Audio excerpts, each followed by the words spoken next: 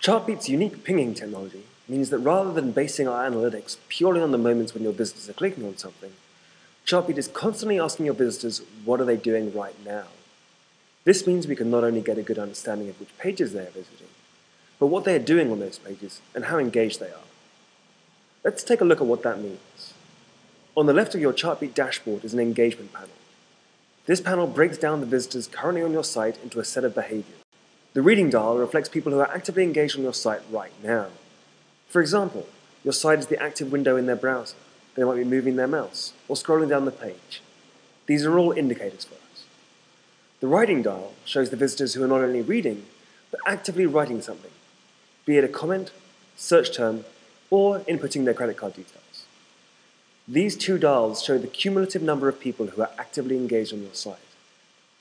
The idle number below represents the people who are visiting your site but aren't actively engaged.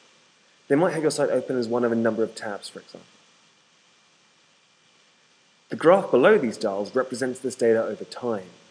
The yellow and orange columns above the line represent engaged users who have been on the site for a given number of minutes.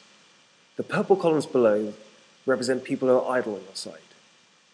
You can see these idle people have been on the site for quite a while, which is consistent with the site being open in the background tab somewhere. This data gets even more useful when you pivot around a specific page. By clicking on a page in the top pages panel, the engagement panel pivots to show only the information relevant to that page.